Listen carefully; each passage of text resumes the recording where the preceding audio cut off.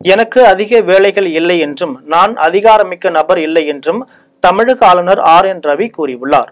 சென்னை கிண்டியில் உள்ள ஆளுநர் மாளிகையில் புத்தொழில் முனைவோர் மற்றும் பெரு நிறுவன தலைமை நிர்வாகிகளுடன் தமிழ்நாடு ஆளுநர் ரவி கலந்து கொடையாடினார் இந்த கூட்டத்தில் இருநூற்றி ஐம்பது தொழில் முனைவோர் மற்றும் அதன் நிர்வாகிகள் பங்கேற்றனர். தொழில் வளர்ச்சி முதலீடு வேலைவாய்ப்பு உள்ளிட்டவை குறித்து தொழில் முனைவோரின் கருத்துக்களை கேட்டறிந்தார். நிகழ்ச்சியில் பேசிய ஆளுநர் ஆர் என் ரவி தோல்வியை கண்டு பயப்படாதீர்கள் பாடம் கற்றுக்கொள்ளுங்கள்.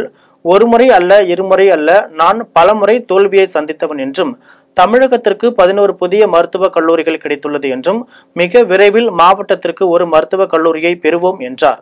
இந்தியாவின் திறமைகளை வைத்தே வெளிநாடுகள் வளர்ச்சி அடைகின்றன என்றும் தொழில் முனைவோர் தங்களின் வளர்ச்சியை மட்டும் பார்க்காமல் தேசத்தின் வளர்ச்சியையும் மனதில் வைத்து செயல்பட வேண்டும் என்றார். தொடர்ந்து பேசிய அவர் ஆளுநர் என்றால் நிறைய வேலைகள் இருக்கும் என்ற மாயை பொதுமக்கள் மத்தியில் உள்ளது. எனக்கு அதிக வேலைகள் இல்லை என்றும் நாட்டின் வளர்ச்சிக்காக எதையோ வேண்டுமானாலும் செய்வேன் என்றார்.